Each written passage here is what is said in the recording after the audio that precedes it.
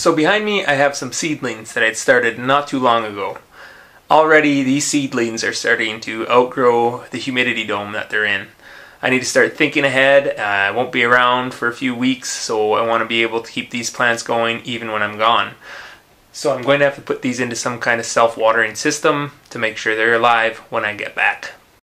One of the ways I'm going to be able to do that is with this flood table. This one's made by Botanicare specifically built for hydroponic systems.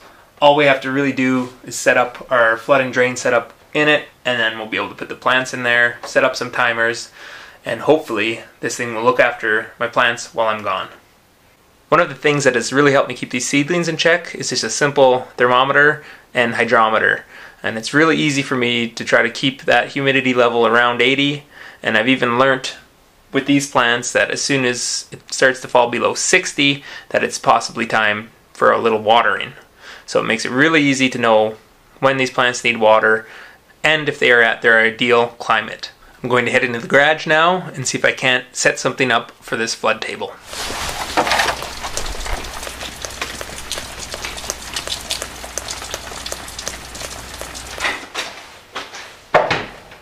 So here I am in a bit of a workspace should be a lot of potential in here for some real cool stuff.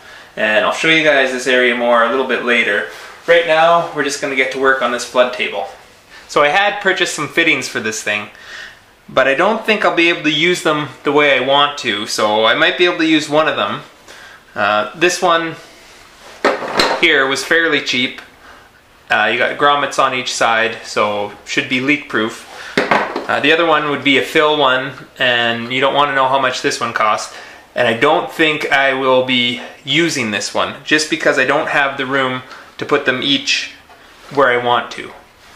Because I'm not able to put these guys side by side in the flood table, I was able to find what I needed through my box of old fittings. So I should be able to have something in there that will work for me.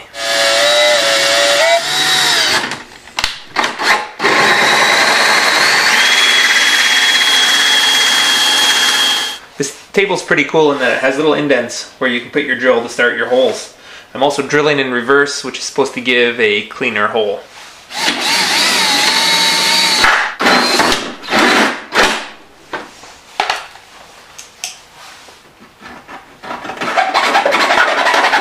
I will have to modify the drain fitting a little bit so that it sits flush against the bottom of the tray and hopefully I still have enough of the rubber seal left there that it won't leak.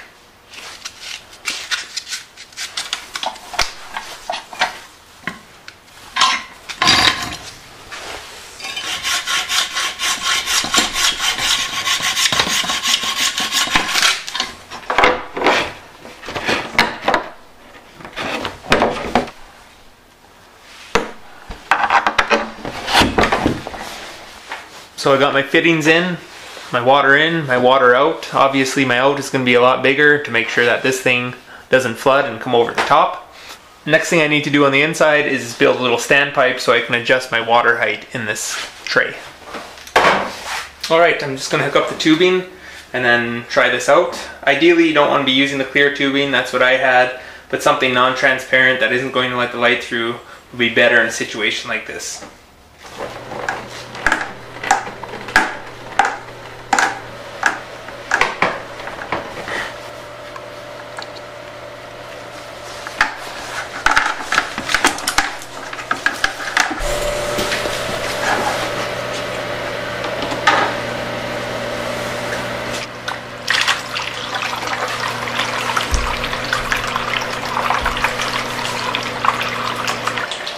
So everything is set up and running behind me. I have my overflow valve which will control the height of the water in my flood tray.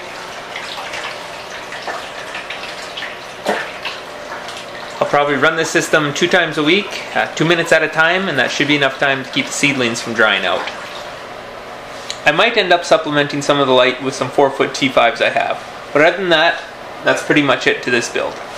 Thanks for watching.